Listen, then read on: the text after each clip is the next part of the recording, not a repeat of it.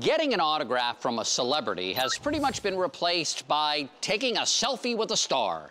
But there's one place where autographs still rule.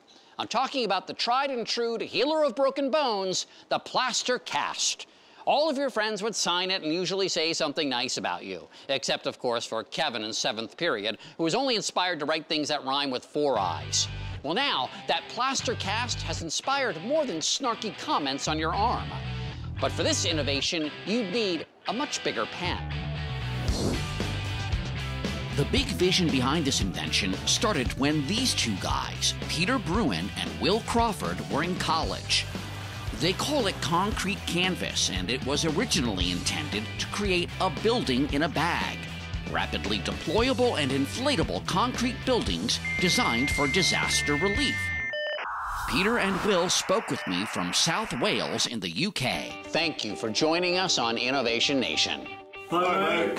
What is a concrete canvas?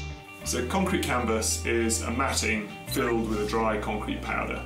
It's completely flexible, it comes on a roll, you roll it out, and it's a very, very rapid way of getting a hard concrete surface. Peter and Will came up with the idea while working on a project with plaster and balloons. At that point, they wondered if they could make a thin-shelled inflatable structure.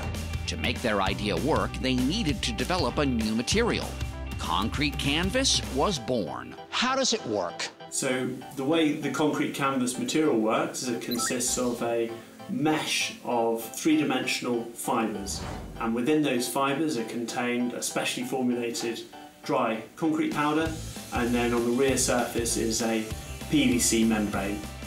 Once sprayed with water, the material needs about 24 hours to harden. Okay, what are some of its main applications? So concrete canvas is used anywhere where you need to put down a concrete surface very, very quickly. Primarily used for things like erosion control. So that can be water channels, to protecting slopes, so to prevent slopes from washing away or eroding.